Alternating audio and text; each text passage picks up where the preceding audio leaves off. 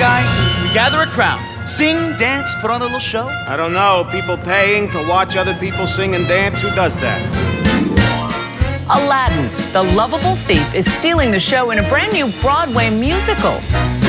My wish for the audience of Aladdin is that they'll be completely moved by the show. Casey has an exuberance and there's a joy about what he does. It's a story that everyone can relate to.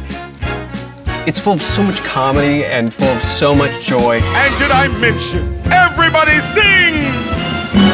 Alan Menken, he knows how to write a song like nobody else. Mr. Aladdin, what will your pleasure be? I'm in the mood to help you do. You ain't never had a friend like me. Telling a really good story, and you're giving people big, giant numbers and lots of production value. A set design, and a lighting design, and a costume design. It's a visual feast. This is a wonderful adaptation filled with color, charm, and loads of theatrical magic. And we cannot wait to see all that magic live. How do they make that carpet fly? People are watching it. And their faces are like this.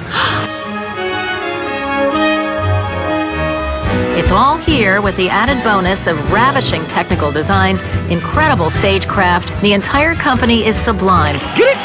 Got it. Good.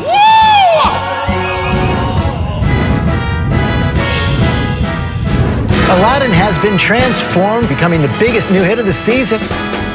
I've got to say, the surprise hit of the season. You are right.